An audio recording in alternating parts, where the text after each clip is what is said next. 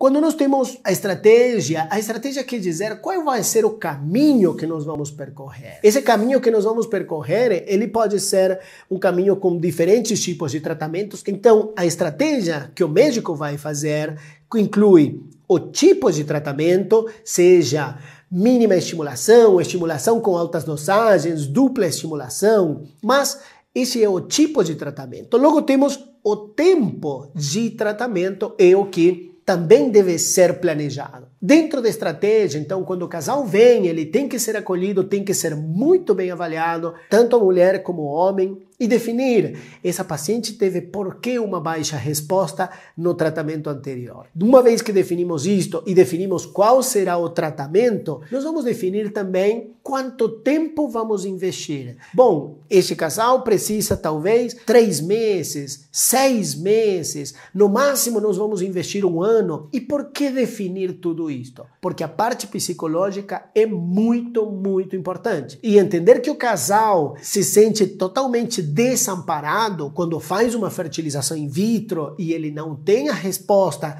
que era esperada, não tem aquela, não atinge aquela expectativa, esse casal realmente precisa de um cuidado especial. Realmente precisa estar muito bem acolhido, realmente ele precisa entender muito bem e que o médico consiga passar para eles. Olha, está acontecendo isto com vocês e nossa estratégia será fazer o tratamento A, B ou C e o esforço que preciso de você é este. Este esforço pode incluir dois, três meses de captações, seis meses de tratamento, não necessariamente fazendo tratamento todo mês, mas sim eh, pensando em que talvez nós vamos fazer vários tipos de cuidados e todos esses cuidados vão precisar ter um tempo que vai demorar. E quando isso demora, realmente nos é, é importante que o casal entenda quanto vai levar de tempo, quanto vai ser o esforço deles,